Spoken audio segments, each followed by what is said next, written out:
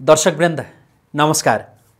राष्ट्रिय स्वतन्त्र पार्टीका सभापति रवि लामिछाने प्रकरणमा देखिएको बेइमानीपूर्ण चलाखीका विषयमा म केही बोल्नका लागि यति बेला यहाँहरूका माझमा उपस्थित भएको छु। हुन त रवि लामिछाने प्रकरणमा देखिएका बेइमानीपूर्ण चलाखी भन्ने यो शब्द सुन्दै गर्दा कतिपय रवि लामिछानेका समर्थकहरू जो हुनुहुन्छ उहाँहरूलाई चिसो पसिरहेको होला। रिस उठिरहेको होला। यसले के भन्न खोज्दैछ भनेर त्यो सुन्ने बुझ्ने धैर्यता गर्नुभन्दा अगाडि नै कतिपयले त कमेन्ट बक्समा गएर झोले पत्रकार जस्ता शब्दहरू लेख्न पनि भ्याइसक्नु भयो होला। तर जसले धैर्यता गर्न सक्नुहुन्छ जो धैर्यपूर्वक सुन्न सक्नुहुन्छ यहाँहरूलाई विनम्रताका साथ आग्रह गर्दैछु कि यो भिडियो पुरै सुन्नुहोला हेर्नुहोला। त्यसपछि यहाँको विवेकले जे खटाउँछ त्यो कमेन्ट गर्नुहोला। यहाँहरूलाई यो विशेष आग्रह। रवि लामिछानेका समर्थकहरूबाट गरिएको बेइमानीपूर्ण चलाखी। यो के मानेमा म भनिरहेको छु भने राष्ट्रिय प्रजातन्त्र पार्टीका प्रमुख सचेतक संसदीय दलका ज्ञानेन्द्र साईको एउटा भिडियो काटछाँट गरियो। र त्यो भिडियो सामाजिक सञ्जालमा भाइरल बनाइयो। राष्ट्रिय स्वतन्त्र पार्टी र त्यसमा पनि रवि लामिछानेका समर्थकहरूका तर्फबाट त्यो भिडियो काटछाँट गरिएको भनेर भन्दा फरक पर्दैन। किन पनि फरक पर्दैन भने राष्ट्रिय स्वतन्त्र पार्टीले आफ्ना पार्टीका सभापति रवि लामिछानेलाई कास्की जिल्ला अदालतले म्याद थप गरेपछि सात दिनको म्याद थप गरिसकेपछि पोखरा छाडेर काठमाडौँ केन्द्रित आन्दोलन गर्ने जब घोषणा गरे त्यो घोषणा लगत्तै सामाजिक सञ्जालमा ज्ञानेन्द्र शाहीले बोलेको एउटा भिडियो भाइरल भयो। वास्तवमा ज्ञानेन्द्र शाहीले रवि लामिछानेको आन्दोलनमा भनौँ रवि लामिछाने समर्थकहरूको आन्दोलनमा काठमाडौँको माइती घरमा सहभागी हुनका लागि भनेर भन्नुभएको थिएन। उहाँले केही समय अगाडि सन्दीप लामिछानेका सन्दर्भमा काठमाडौँको रिपोर्टर्स क्लबमा आयोजित एउटा कार्यक्रममा उहाँले सन्दीप लामिछानेका सन्दर्भमा माइती घरमा भेला भएर आन्दोलन गर्नका लागि त्यहाँ उपस्थित हुनका लागि उहाँले आग्रह गर्नुभएको थियो। तर रवि लामिछानेका समर्थकहरूले के गर्नुभयो भने सन्दीप शब्दलाई त्यो भिडियोबाट कटाएर त्यहाँबाट हटाएर लामी छाने यो शब्द हुँदै बाँकी जुन उहाँले बोलेका कुराहरू हो त्यो कुराहरू चाहिँ जस्ताको तस्तै राखिदिनु भयो। र त्यो भिडियोलाई भाइरल गरियो। जब त्यो भिडियो मान्छेहरूले हेरे कतिपयमा भ्रम पर्न गयो कि राष्ट्रिय प्रजातन्त्र पार्टीको संसदीय दलका प्रमुख सचेतक ज्ञानेन्द्र साई पनि रवि लामी छाने समर्थकहरूको यो आन्दोलनमा उहाँ सहभागी हुनुहुने रहेछ र उहाँले आन्दोलनमा सहभागी हुनका लागि आग्रह गर्नुभएछ। जसले भिडियोलाई राम्रोसँग निहाले उनीहरूले कतिले भ्याउ पाए कतिले भ्याउ पाएनन् कि यो एडिटेड भिडियो यो काटछाँट गरेर बनाइएको भिडियो भ्रम छर्न खोजिएको भिडियो हो भनेर। अनि जसले भ्याउ पाए भ्याउ पाएकाहरू पनि गए होलान् आन्दोलनमा या गएनन् होला आन्दोलनमा जाने या नजाने भन्ने विषय यो फरक विषय हो। तर रवि लामी छानेका समर्थकहरू जसले यो भिडियो काटछाँट गरेर सामाजिक सञ्जालमा भाइरल गरे यो हेर्दै गर्दा भने कतिपयले कठैबरा पनि भने। हुन त यसो भन्दै गर्दा मैले अघि नै यो भिडियोको सुरुमा नै भने कि कतिपयले भिडियो पुरै हेर्नै नपाइकन अन्धाधुन्द झोले पत्रकार जस्ता शब्दहरू प्रयोग गरिसक्नुभयो होला। अब यहाँहरूको जानकारीका लागि म ज्ञानेन्द्र साईले बोलेको भनेर जुन प्रकारको काटछाँटवाला भिडियो भाइरल गरियो त्यो भिडियो यहाँहरूका माझमा प्रस्तुत गर्दैछु। र धेरै राष्ट्रिय स्वतन्त्र पार्टीका समर्थकहरूले त्यो भिडियो भाइरल गर्नुभएको छ।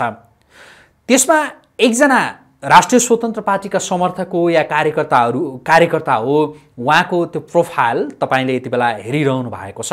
उहाँको जुन यो कभर प्रोफाइलको जुन कभरमा यहाँहरूले राष्ट्रिय स्वतन्त्र पार्टीको जो ब्यानर देखिरहनु भएको छ त्यो देख्दै गर्दा यो भिडियो सेयर गर्ने एकजना व्यक्ति राष्ट्रिय स्वतन्त्र पार्टीकै समर्थक हुनुहुन्थ्यो हुनुहुँदो रहेछ भनेर बुझ्नका लागि यहाँहरूलाई अप्ठ्यारो नपर्ला कठिन नहोला पक्कै पनि त्यही भनेर मैले यति बेला यहाँहरूका माझमा राष्ट्रिय स्वतन्त्र पार्टीका एकजना समर्थकको यो प्रोफाइल सहित पोस्ट गरिरहेको छु। यति बेला यहाँहरूका माझमा मैले त्यो प्रस्तुत गरिरहेको छु। उहाँले यसरी भिडियो सेयर गर्नुभएको थियो भिडियो राख्नु भएको थियो। उहाँ राष्ट्रिय स्वतन्त्र पार्टीका कोही समर्थक या शुभेच्छुक या नेता कार्यकर्ता कोही हुनुहुन्छ होला। यस्तै धेरैले यो भिडियो ज्ञानेन्द्र शाहीले बोलेको भिडियो यो अपलोड गर्नुभएको थियो सेयर गर्नुभएको थियो र त्यसमा धेरै कमेन्टहरू आएका थिए र त्यहाँ आएका कमेन्टहरू यसो हेर्ने हो भने वा नेता भनेको ज्ञानेन्द्र शाही हो। ज्ञानेन्द्र शाहीले रवि लामी छानेलाई साथ दिनुभयो भनेर यी यस्ता कमेन्टहरू आएका थिए। अब यति बेला चाहिँ ज्ञानेन्द्र शाहीले फरक सन्दर्भमा जो बोलेको भिडियो रवि लामी छानेका समर्थकहरूले काँडछाँट गरेर जो पोस्ट गरेका थिए त्यो भिडियो यहाँहरूका माझमा हामी प्रस्तुत गर्दैछौँ कि यसरी काँडछाँट भएको थियो ज्ञानेन्द्र साईको उति बेला उहाँले बोलेको त्यो भिडियो अहिले रवि लामी छानेका सन्दर्भमा रवि लामी छानेको आन्दोलनका सन्दर्भमा मान्छेहरूलाई आउनका लागि प्रेरित गरेको भने जसरी यसरी भिडियो पोस्ट गरिएको थियो।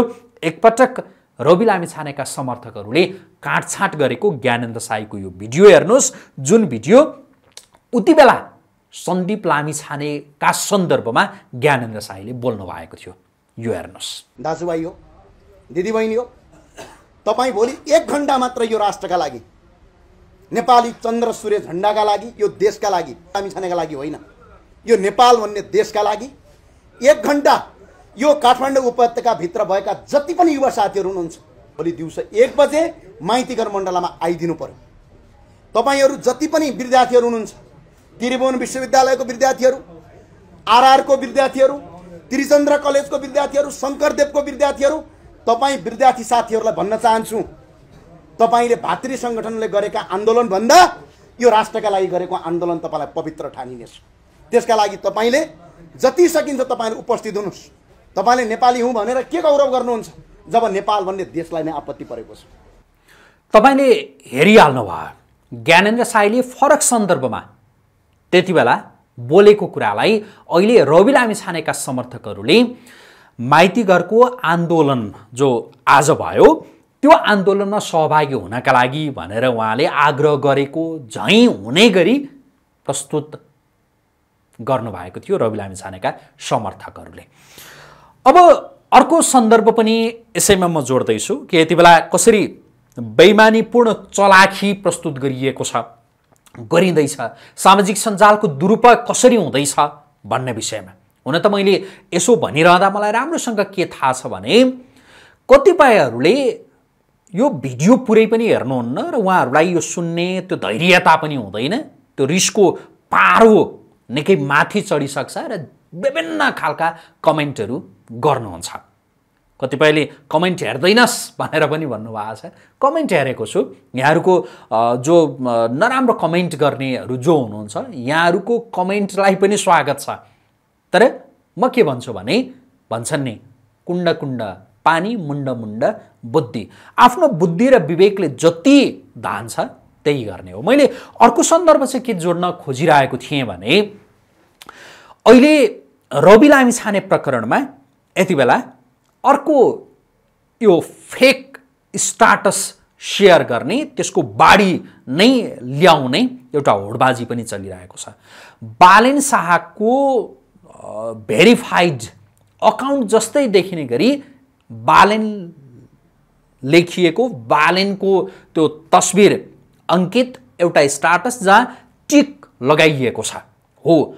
त्यो टिकवाला फेक आइडीबाट विभिन्न प्रकारका कुराहरू रवि लामी छाने प्रकरणमा यति बेला सेयर भइरहेको छ। त्यो फेक टिक पनि फेक हो बालेन शाहको त्यो फेसबुक आइडी जो अहिले तपाईँहरूले यति बेला देखिरहनु भएको छ यो बालेन शाहको आइडी होइन तर हेर्दाखेरि ठ्याक्कै बालेन शाहकै आइडी त्यो पनि भेरिफाइड आइडी फेसबुक आइडी जस्तै बनाएर यसरी रवि लामी छानेका समर्थकहरूले पोस्ट गरिरहेको त्यसलाई सेयर गरिरहेको देख्न सकिन्छ र त्यो पनि एकदमै चलेका ग्रुपहरू जहाँ लाखौँ सदस्यहरू रहेका पब्लिक ग्रुपहरूमा फेसबुक पब्लिक ग्रुपहरूमा यस्ता स्क्रिनसटहरू छापछ्याप्ती देख्न सकिन्छ। रवि लामिछानेका सन्दर्भमा रवि लामिछाने पक्राउ प्रकरणपछि यो बालन शाहको फेक आइडी त्यो बनाएर यसरी विभिन्न व्यक्तिहरूले स्टाटसहरू लेखिरहेको त्यसलाई सेयर गरिरहेको यो देख्न सकिन्छ। एउटा जुन त्यही मध्येको एउटा स्क्रिनसट यति बेला यहाँहरूका माझमा हामी प्रस्तुत पनि गरिरहेका छौँ। यहाँहरू हेर्नुहोस् कि यो स्क्रिनसटसहितको यो सामग्री देखिसकेपछि जसले देख्छ नि उसलाई लाग्छ कि यो बालन शाहको स्टाटस हो जसले सतै रूपमा हेर्छ। तर जसले अलि गम्भीर भएर अलि मेन ढङ्गले हेर्छ उसले त सहजै पत्ता लगाउँछ कि यो बालन शाहको रियल आइडी होइन भनेर। तर जुन टिक सहितको आइडी जस्तो जब देखिन्छ त्यसपछि मान्छे भ्रममा पर्छ। अहिले सबै हेरेर भिडियो पनि सबै सुनेर या कुनै टेक्स्ट पनि त्यो राम्रोसँग निहालेर कमेन्ट गर्ने यो संस्कार पनि छैन मान्छेलाई फुर्सद पनि छैन। त्यही भएर टाइटल हेर्ने कमेन्ट गरिहाल्ने यस्तो जुन प्रकारको प्रवृत्ति विकास भइरहेको छ यसलाई हेर्दाखेरि अघि नै मैले यहाँहरूलाई भने कि बालेन शाहको झैँ देखिने गरी जो सेयर भइरहेका स्टाटसहरू हुन् या ज्ञानेन्द्र शाहीले बोलेको भनेर त्यो प्रकारले जसरी भिडियो पोस्ट भइरहेको छ यसलाई हेरेर मान्छेहरूले रवि लामी छानेका पक्षमा ज्ञानेन्द्र शाही पनि आए बालन शाह पनि आए भनेर यो ढङ्गले पनि बुझ्न सक्छन्। यसलाई जो सामाजिक सञ्जालमा यति बेला देखिएको विकृतिका रूपमा लिन सकिन्छ। अब यसो भन्दै गर्दा हामी यो पनि भन्छौँ कि रवि लामिछानेका समर्थकहरूबाट मात्रै यस्तो भइरहेको छैन।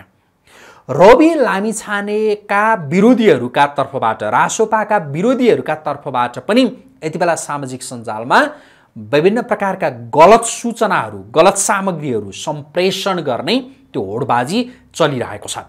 बालेन शाहको फेक आइडी बनाएर बालेन शाहको आइडी झैँ देखिने गरी रवि लामिछानेका विरुद्धमा पनि स्टाटसहरू सेयर भइरहेका छन् र अन्य विभिन्न जो चलेका सेलिब्रिटीहरू हुन्छन् विभिन्न नेताहरू या समाजमा चिनिएका जो व्यक्तिहरू छन् उनीहरूको तर्फबाट भने झैँ गरी विभिन्न प्रकारका फेक सूचनाहरू जानकारीहरू दिने काम यति बेला रवि लामी छानेका विरोधीहरूले पनि गरिरहेका छन्। र एउटा समाचार पनि आएको थियो कि रवि लामिछानेका पूर्व व्यावसायिक साझेदार जीवी राईको तर्फबाट भनेर सञ्चार माध्यमलाई एउटा इमेल गरिएको भन्ने कुरा पनि आएको थियो र त्यसको सत्यता त्यो पहिल्याउने काम त्यो यो सत्य हो या होइन भनेर हेर्ने काम भइरहेको छ त्यो पुस्ट्याइको काम भइरहेको छ। यद्यपि यस्तो आयो है भनेर एउटा सञ्चार माध्यमले त्यो लेखेको जानकारी दिएको कुरा पनि आएको थियो। अब त्यो पनि कुनै व्यक्तिले त्यो भ्रममा पार्ने गरी त्यस्तो गर्यो या के गर्यो भन्ने विषय यो भोलिका दिनमा थप प्रश्न हुँदै जाला। तर के चाहिँ हो भने अहिले रवि लामी छाने प्रकरणमा रवि लामी छानेका समर्थकहरूले पनि र रवि लामी छानेका विरोधीहरूले पनि यो गलत प्रकारका सूचना सामाजिक सञ्जाल विशेष गरी फेसबुकमा दिने त्यो होडबाजी चलिरहेको छ। त्यसैले फेक सूचना हेरेर आफ्नो धारणा तत्कालै बनाइहाल्ने कोही कसैलाई केही लेखिहाल्ने कमेन्ट गर्न हतारो गरिहाल्ने यो काम चाहिँ नगरौँ। फेक सूचनाका पछि फेक समाचारका पछि फेक जानकारीका पछि नलागौँ। आफ्नो बुद्धि र विवेक यी र यस्ता कुरामा प्रयोग गरौँ। यही आग्रहका साथ अहिलेका लागि यो भिडियो सामग्री यति नै गर्छौँ। यहाँहरूले हामीलाई हेरिदिनु भयो सुनिदिनु भयो यसका लागि धेरै धेरै धन्यवाद नमस्कार